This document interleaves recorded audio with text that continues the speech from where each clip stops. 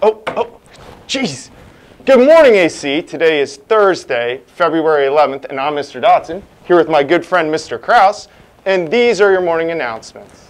Any boy grade 9 to 12 who is interested in playing tennis this spring, there will be a sign-up meeting in room 226 on Tuesday during advisory. GSA is open to all middle and high school students interested in supporting a safe and equitable environment for all students. Our next meeting is next Tuesday. It is from 2.15 to 2.45 in room 103 or on Zoom. See the GSA Schoology group for details. And now let's go to Mr. Gross, who will tell the juniors more about their graduation project. Listen up, juniors. Mr. Gross? Morning, AC. This is Mr. Gross. I want to talk to the juniors quickly about your graduation project for this year. It is the Career Shadow Project. I posted all this information a number of different times on Schoology. Uh, just want to make sure everybody understands the, the goal is for you to get out and actually spend a day with somebody in a career that you would like to pursue. But due to the difficulty of, of that with COVID 19 this year, there is an alternative assignment. But this project is due on March 26th.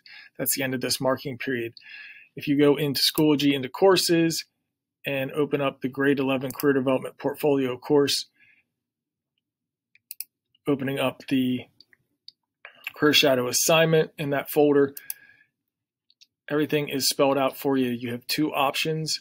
One would be to do a traditional job shadow. And if you can't spend seven or eight hours with somebody, but they can give you three or four, that's certainly a great option. That would be option number one. All the information's in the assignment. Option two is to go a different route, which is just view online videos, uh, job shadow videos Either way, you're going to write a couple paragraphs in response to your experiences, what you've learned, and what your plan will be going into your senior year based upon your experiences so far and your hopes and aspirations for the future. If you need any specific assistance with this, let Mr. Gross know. The sophomore and junior class candle fundraiser order forms are due next Wednesday.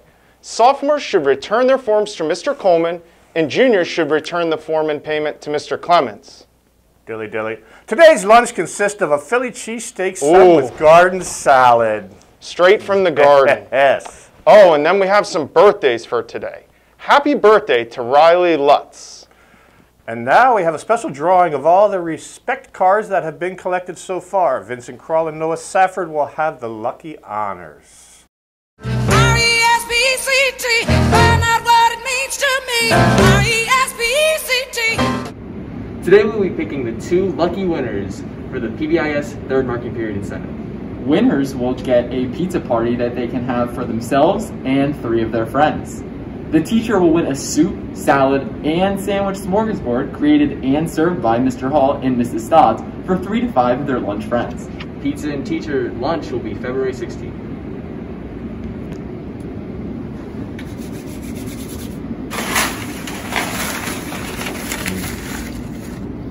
Winner is Stanford Diller.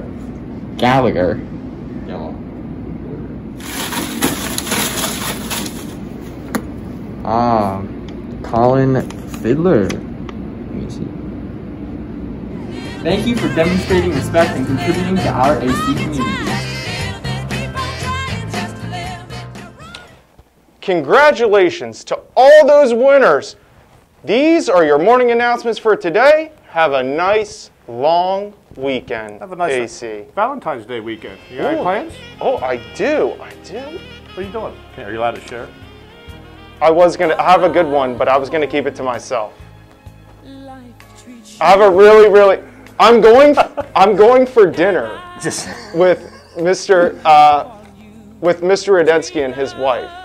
I should have said I'm taking Mr. Rudensky's wife out for dinner. Go ahead. But above all